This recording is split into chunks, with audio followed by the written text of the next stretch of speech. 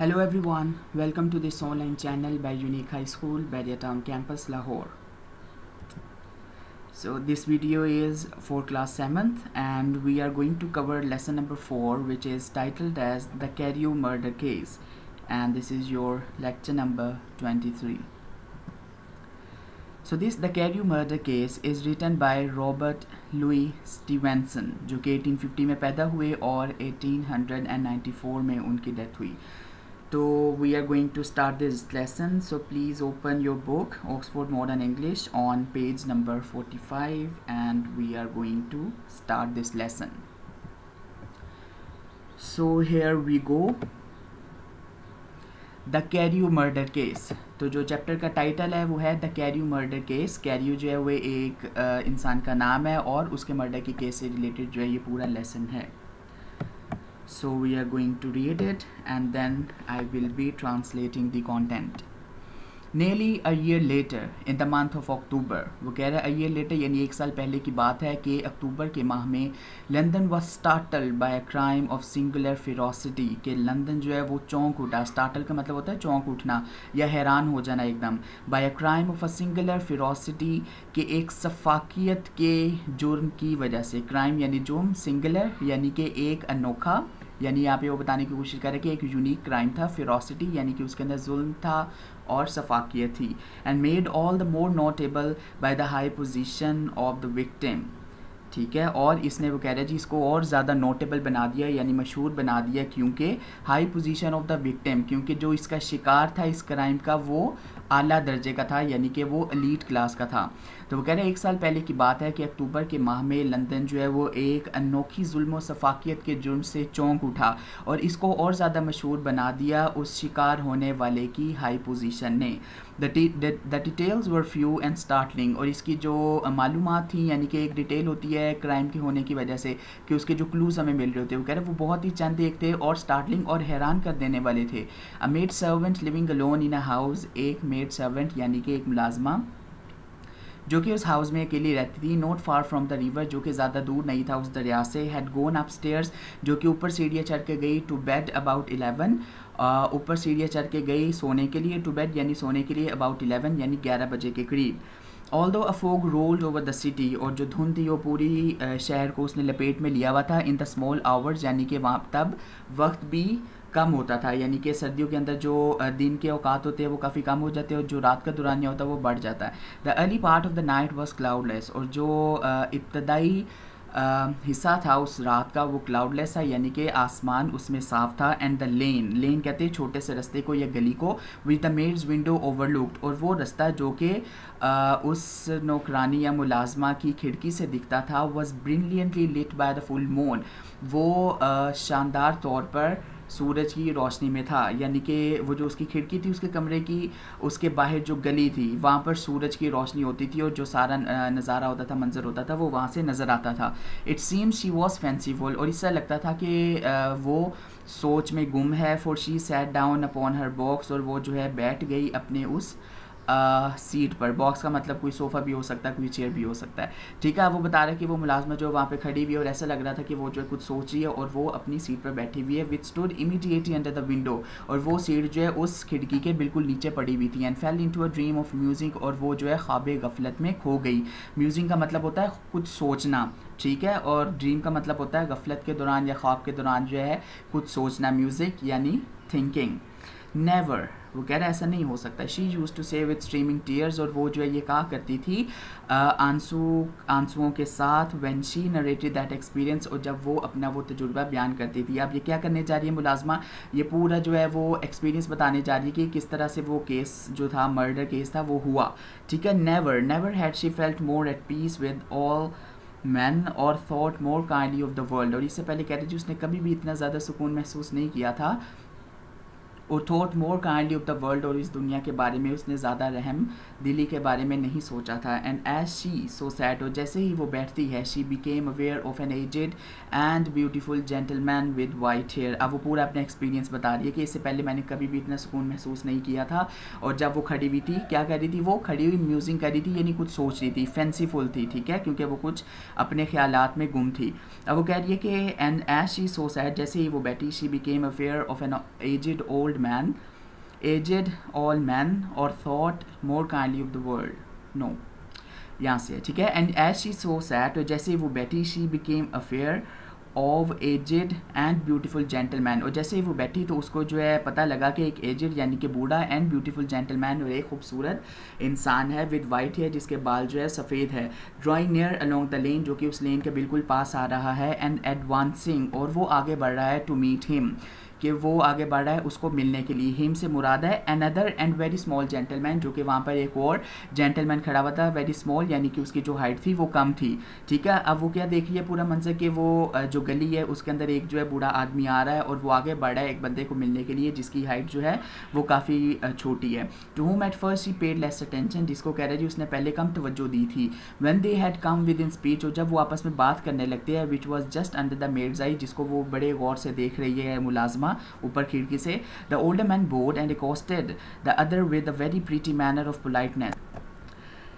ठीक है, वो कह रहा है कि द अदर मैन बोर्ड यानी कि वो आदमी जो है ओल्डर मैन जो है, वो झुकता है, जिसके वाइट हेयर से, और वो ब्यूटीफुल जेंटलमैन था, यानी कि वो झुकता है एंड एकोस्टेड एकोस्टेड का मतलब होता है उससे मुखातिब होता है द अदर दूसरे आदमी से, जो कि बड़ी छोटी हाइट का है with a very pretty manner of politeness यानी कि एक बड़े शाइस्ता अंदाज में। Did not seem as if the subject of his address were of great importance और ऐसा बिल्कुल नहीं लगता कि उनके जो आपस में बात करने का मुद्दा है, वो ज़्यादा इतना अहम है, या फिर अहमियत का हामिल है इन और बेशक फ्रॉम हिज पॉइंट ही, और उसके इशारे से लगता था if it sometimes appeared as if he were only inquiring his way और उसके इशारात से ऐसा लगता था कि वो सिर्फ़ और सिर्फ़ अपना रास्ता पूछ रहा है। But the moon shone on his face as he spoke और चाँद उसके चेहरे पर चमकता था जब वो बोलता था। And the girl was pleased to watch it और वे जो मुलाजमा थी, वो खुश होती थी उसको देख के। It seem so innocent and full of kindness और उसको जो ये बड़ा मासूमाना और रहम दिली से भरपूर लगता था। अब वो उसने जो है पूरी जो एक दास्तान है, उसका एक एक्सपीरियंस है, उसको वो नरेट करना स्टार्ट करिए कि एक्चुअली वहाँ पर हुआ हुआ क्या था? सो so, प्रेजेंटली यानी कि अब her eye wandered to the other. अब उसकी जो आँखें हैं वो दूसरे की तरफ़ गई यानी वो दू, दूसरा शख्स था वो थोड़ी छोटी हाइट का था एंड शी वॉज़ सरप्राइज़ और वो हैरान हुई टू रिकगनाइज इन हिम उस बंदे को पहचान के अ सर्टन मिस्टर हाइट के वो कोई मिस्टर हाइट था who had once visited her master जिसने एक बार इसके आका को मिला था यानी कि जो मुलाजमा है जिसके यहाँ काम करती थी उससे वो एक बार आके मिला था and for whom she had conceived a dislike और उसको तब भी उसने नापसंदीदगा का इजहार किया था। ठीक है, वो उसको बताने की कोशिश कर रही है कि ये वो इंसान था जिसको इसने पहचाना कि ये उसके मास्टर की तरफ़ आया था और इसने उसको नापसंदीदगी से देखा था। He had in his hand a heavy cane और उसके हाथ में जो है एक भारी स्टिक थी। केन जो है एक काफ़ी अनयूजल सी और रेयर किस्म की एक स्टिक होती है जिसको लोग चलने के लिए यूज़ करते हैं with which he was fiddling जिसको वो जो है हवा में घुमा रहा था। फिडलिंग का मतलब होता है घुमाना तेज़ी से। But he answered never a word और उसने एक लफ्ज़ भी नहीं बोला। And seem to listen with an ill content contained patience और ऐसा लग रहा था कि वो ये सारा कुछ सुन रहा है, बड़ी बेसब्री से। इल कंटेंट का मतलब है इंतहाई इम्पेशंस यानी बेसब्री से। And then all of a sudden और एकदम से ही broke out in a great flame of anger और एकदम से वो जो गुस्से की आग में भड़क उठा। स्टैम्पिंग विद इस फुट यानी उसने अपना जो पाँव है ज़मीन पर मारा, ज़ोर से ब्रांडिशिंग द केन और उसने जो उसको घुमाना शुरू किया अपनी केन को, यानी स्टिक को एंड कैरिंग ऑन और आगे बढ़ता रहा as the maid described it जैसे ही मेड ने बताया लाइक अ मैड मैन और वो पागलों की तरह आगे बढ़ने लगा। अब वो जो मेड है, वो सारा किस्सा बता रही है कि किस तरह से उन दोनों में आपस में कॉन्वर्सेशन स्टार्ट हुई है ऐसा नहीं लग रहा था कि उनकी जो कॉन्वर्सेशन है वो ज़्यादा इंपॉर्टेंट है बट वो कह रहा है, एकदम से जब वो आग में भड़क उठा, यानी उसको गुस्सा आ गया तो उसने अपने पाँव जो है वो नीचे मारे यानी कि स्टैम्पिंग विद इस फुट और उसने अपनी जो छड़ी थी, वो हवा में घुमाना शुरू की और वो ऐसा लग रहा था कि वो पागलों की तरह हरकत कर रहा है। The old gentleman took a step back तो जो दूसरा बूढ़ा आदमी था, वो थोड़ा सा घबरा गया और उसने क्या किया? उसने कुछ कदम पीछे ले लिए. With the air of one okay with the air of one so here it is ठीक है. With the air of one very much surprised and trifle hurt और उस आदमी ने जो दूसरा बूढ़ा आदमी था उसने जो है जब उसने देखा कि वो काफ़ी गुस्से में आ गया तो उसने जो है दो कदम पीछे ले लिए. वेरी मच सरप्राइज़ और वो इस बात से काफ़ी हैरान हुआ है एंड ट्राइफल हर्ट और उसको जो है काफ़ी इस बात से दुख भी पहुँचा या फिर Uh, उसको काफ़ी हर्ट हुआ. And at that Mr Hyde broke out of all bounds and clubbed him to the earth और उसने कहते जी अपनी सारी हदें पार कर दी और clubbed him to the earth यानी उसको काफ़ी मारा. क्लब्ड हिम का मतलब होता है बीट करना.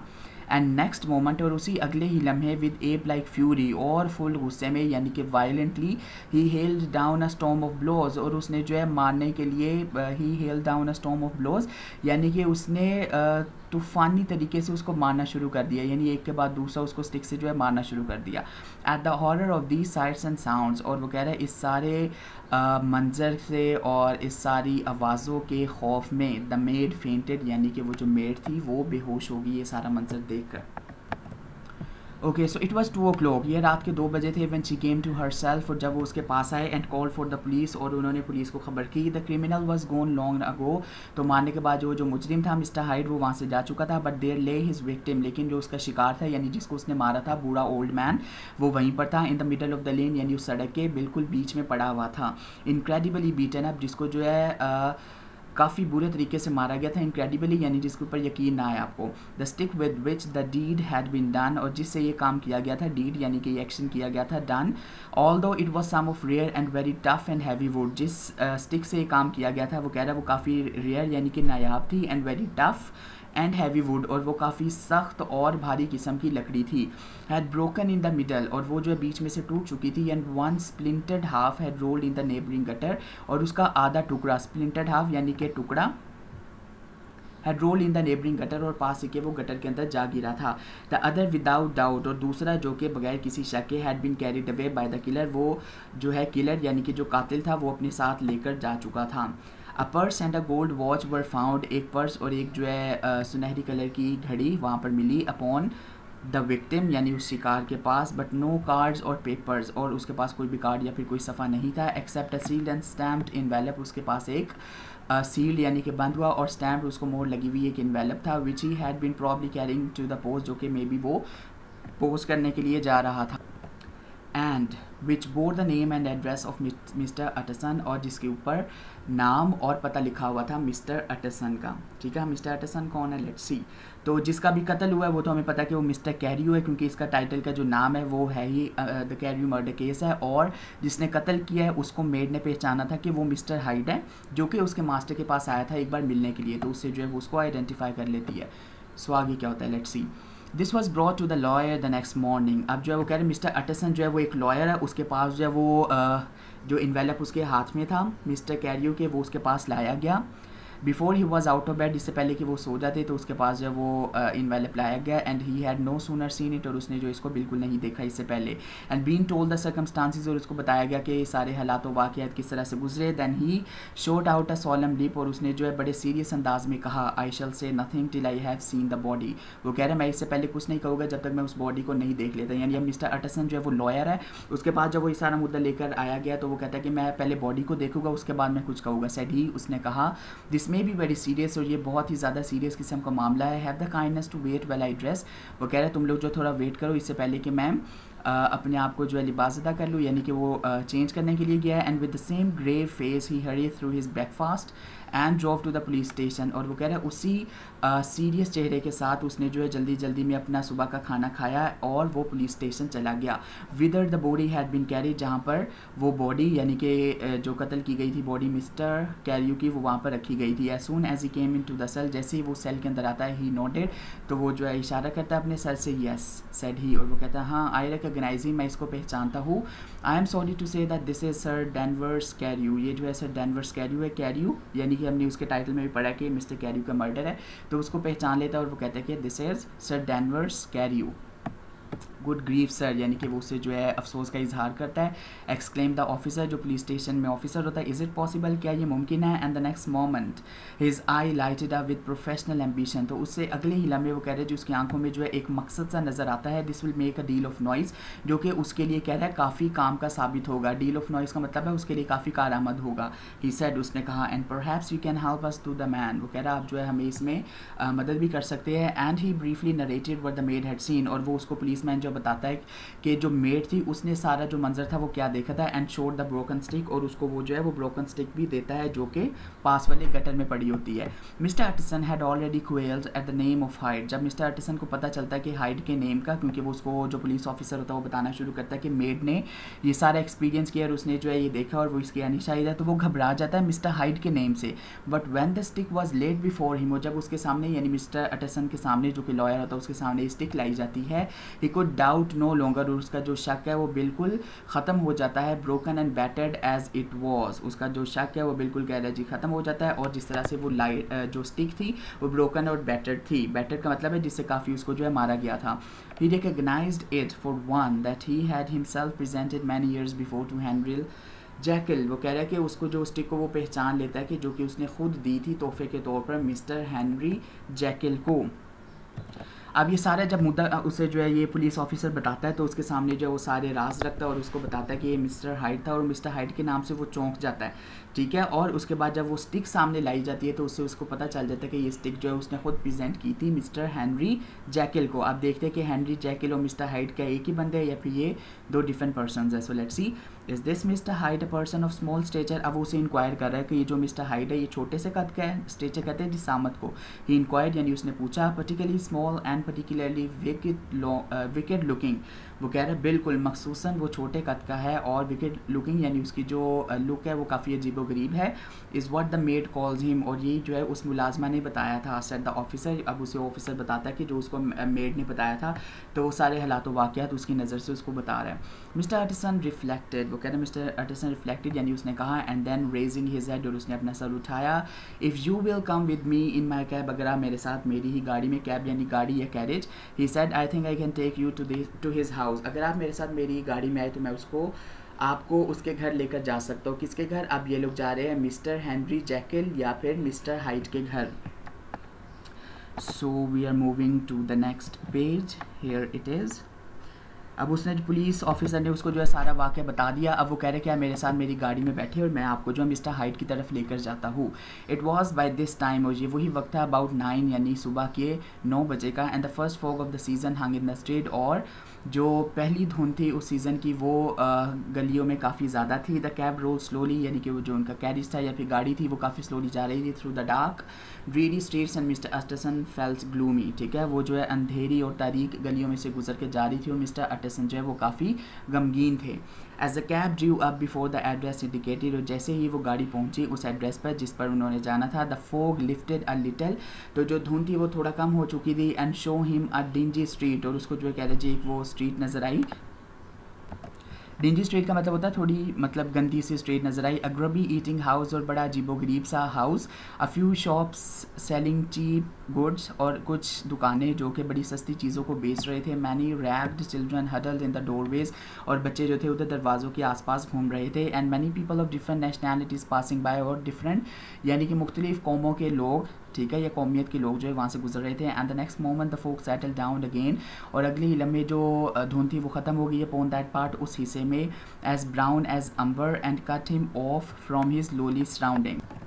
तो कह रहा है कि वो जो धुन थी वो ख़त्म होगी एज़ ब्राउन एज़ अम्बर और ऐसा लग रहा था कि जैसे ये जो है ब्राउनिश होता है थोड़ा कलर ठीक है? यानी कि डार्क डार्किश कलर जब धुंध वाला मौसम और सर्दियों का मौसम हो तो जो इवनिंग का मौसम होता है और जो मॉर्निंग का होता है, वो इसी तरह से नज़र आता है। अंबर जब एक पिगमेंट होता है, जो कि ब्राउनिश कलर का होता है, उसको इससे जो वो रिलेट कर रहा है। And cut him off from his lowly surrounding और उसने उसको जो है, उसका जो निचले सरफेस थी उसकी अर्थ से उसको जो उसने अलहदा कर दिया। तो वो पूरा उधर का एटमोसफेयर बता रहा है कि वो किस तरह का था। This was the home of Henry Jekyll और ये जो घर था, उसका हैंनरी जैकल का जैकल्स फेवरेट ठीक है? उसका एक पसंदीदा होम था। और man who was heir to a quarter of a million sterling जो कि कह रहे जी, उसका वारिसा quarter of a million sterling यानी कि लाखों की दौलत थी उसके पास।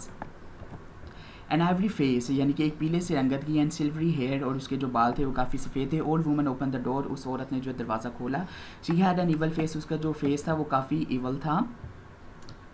ओके okay, उसका वो कह रहे जी फेस जो है वो काफ़ी इवल था। स्मूथ बाय हिपोक्रेसी और उसका जो फेस था उसके अंदर मुनाफ्त भरी हुई थी कूट कूट कर। But her manners were excellent लेकिन उसके जो तौर तरीके और आदाब थे वो काफ़ी अच्छे थे। येस शी सेड उसने कहा, जी दिस वॉज़ मिस्टर हाइज वो कह रहे हैं, ये उसकी जो मिस्टर हाइट का घर था but he was not at home लेकिन वो घर नहीं है। तो वो औरत उसको बताती है कि मिस्टर हाइट का ही घर है, लेकिन वो घर नहीं है। He had been in that night very late वो कह रहा है, वो जो है, उस रात जो है, बड़ा लेट घर आए थे but had gone away again in less than an hour और उसके एक घंटे के अंदर अंदर ही वो वहाँ से चले गए थे। There was nothing strange in that और इसमें कह रहे कोई अजीबो गरीब बात भी नहीं है। His habits were very regular उसकी जो आदात है, वो बड़ी बेकायदा है। And he was often absent और वो ज़्यादातर घर से गायब भी रहता है। फॉर इंस्टेंस और वो कह रहा है जी फॉर इंस्टेंस यानी कि मिसाल के तौर पर it was nearly two months since she had seen him till yesterday वो कह रहे जी, दो महीने गुजर गए हैं कि मैंने उसको सिर्फ़ कल देखा है। यानी वो बता रही कि उसका जो रूटीन है, वो इस तरह की है, वो घर कम नहीं आता और ज़्यादातर वो बाहर ही रहता है। वेरी वेल वो कह रहे ठीक है then we wish to see his rooms और हम उसके जो है कमरे देखना चाहेंगे सेट द लॉयर यानी मिस्टर आर्टिसन लॉयर था, उसने उसको कहा कि हम उसके जो है कमरे देखना चाहेंगे। And when the woman began to declare it was impossible और जब उस औरत ने कहा कि ये तो नामुमकिन बात है I had better tell you who this person is वो कह रहा है, मैं उसे बताने लगा हूँ कि ये पर्सन कौन है? ही एडिड उसने कहा this is Inspector Newcomen of Scotland Yard ये इंस्पेक्टर है Newcomen of Scotland Yard का तो वो जब उसे कहती है कि ये देखना जो इम्पॉसिबल है तो उसे बताता है कि ये पुलिस ऑफिसर मेरे साथ है, यानी पुलिस ऑफिसर है, इसका मतलब है कि उनको इजाज़त है कि वो घरों की तलाशी ले सकते हैं। A flash of odious joy appeared upon the woman's face उसके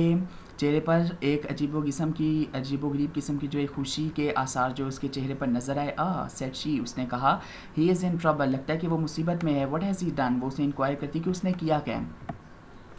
So Mr Utterson and the inspector exchanged glances उन्होंने आपस में जो है नज़रों का तबादला किया, यानी एक दूसरे को देखा। He doesn't seem a very popular character वो कहता है, इसे लगता नहीं है कि वो बड़ा कोई मशहूर किस्म का करेक्टर है। ऑब्ज़र्व द इंस्पेक्टर और इंस्पेक्टर जो इस बात को महसूस किया है। And now just let us in लेकिन बस, अब हमें आगे आने दो, यानी अंदर आने दो उस घर के। In the whole extent of the house तो वो कह रहे इस पूरे मामले के अंदर which but for the old woman remained otherwise empty Mr Hyde had only used a couple of rooms वो कह रहे हैं कि मिस्टर हाइड ने जो है सिर्फ़ कुछ ही रूम्स देखे, यानी उन्होंने सारा जो है रूम विज़िट नहीं किया but these were furnished with luxury and good taste तो वो सारे कमरे जो है, कह रहा फर्निश हुए थे, यानी उसके अंदर जो सामान वगैरह था, वो काफ़ी अच्छी तरह से मैनेज था। Cupboard was filled with food and drinks उसकी जो अलमारी थी, उसके अंदर फ़ूड और ड्रिंक्स वगैरह मौजूद थे। The table was set with silver cutlery और उसकी जो टेबल थी, उसके ऊपर सिल्वर के बर्तन थे कटलरी यानी बर्तन के तौर पर हम यूज़ कर सकते हैं इस वर्ड को। And fine china art work hung upon the walls और जो उसके आर्ट वर्क हुआ हुआ था वॉल के ऊपर वो चाइना का था, यानी कि महँगा काम था। A gift as Utterson suppose for Henry Jekyll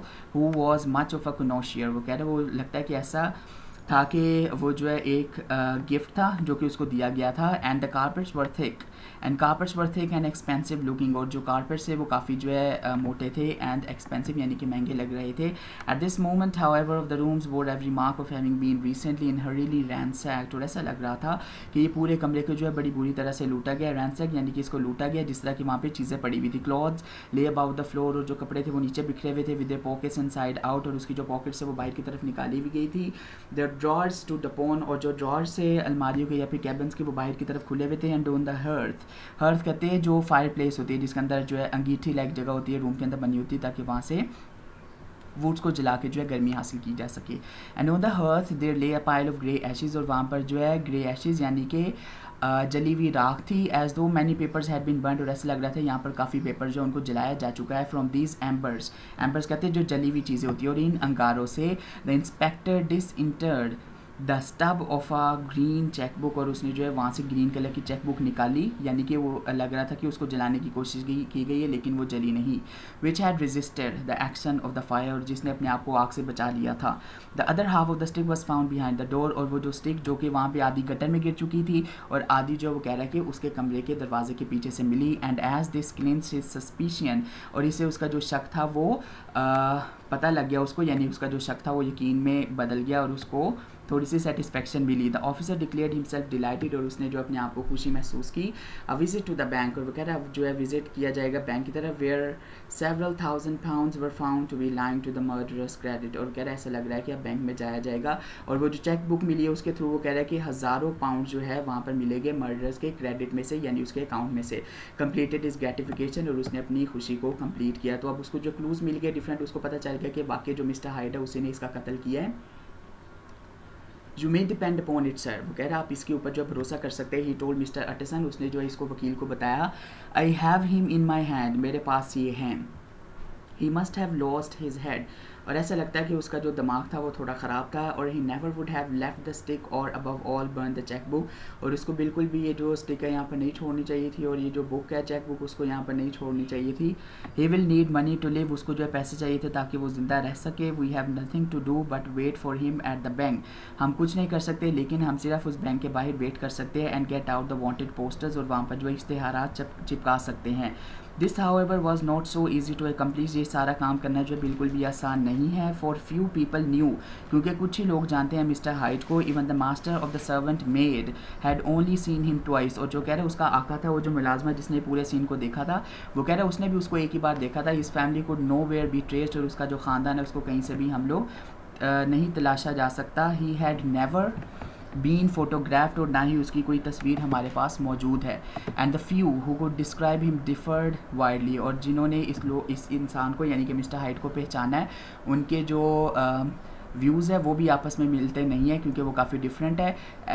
as common observers और वो कह रहे हैं, एक आम ऑब्जर्वर के तौर पर विल कोई भी नहीं पहचान सकेगा। ओनली ऑन वन पॉइंट और एक ही बात पर वर दे अग्रेड वो सब जो है अग्रेड थे, यानी कि वो इस बात को मानते थे and that was the haunting sense of strangeness with which he left people कि वो एक अजीबो गरीब सी सेंस जिसके थ्रू उसने लोगों को छोड़ा था। क्योंकि लोग उसको नहीं पहचानते थे, उनको नहीं पता था कि मिस्टर हाइडा या फिर मिस्टर जैकिल तो उसने जो अपनी डुअल आइडेंटिटी रखी हुई थी।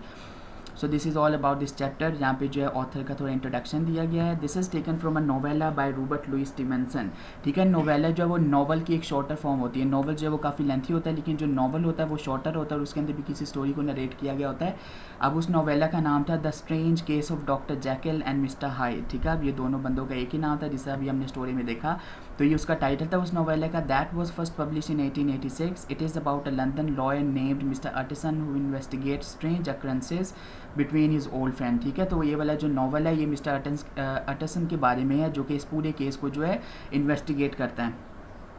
And the evil Edward Hyde ठीक है? अब उसका वो जो फ्रेंड था, उसका नाम था डॉक्टर हैंनरी जैकिल, जिसके वो केस को सुलझाता है, and the evil Edward Hyde तो दोनों एक ही बंदे के नाम है। What mister Utterson does not realize is that the good doctor Jekyll has created a potion that transforms him into the evil mister Hyde and mister Hyde does not want to change back अब वो कह रहे वो खुद इस puzzle का शिकार था कि क्या मिस्टर जैकिल जो है या डॉक्टर जैकिल उसका अच्छा एक दोस्त था? उसने क्या कोई ऐसी चीज़ बनाई थी? ड्रिंक बनाया हुआ था पोशन बनाया था, जो कि उसको चेंज कर देता था? एक ईवल मिस्टर हाइट के अंदर यानी कि उसकी जो पर्सनैलिटी शिफ्टिंग थी वो उसके ऊपर बड़ा परेशान था कि ऐसा क्या पूरा मुद्दा है Stevenson wrote the novella very quickly during a period of illness it was an immediate success and remains popular today